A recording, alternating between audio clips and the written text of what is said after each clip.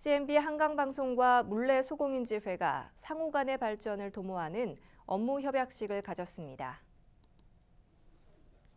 업무 협약을 통해 CNB 한강방송은 물레 소공인 관련 정보 방송 제작 등 지속적인 홍보를 약속했습니다.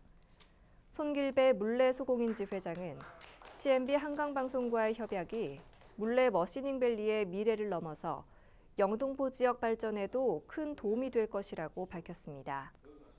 조훈 CNB 한강방송 본부장은 물레 소공인들의 권익 보호를 위한 공정하고 정확한 정보 전달에 보다 노력하겠다고 말했습니다.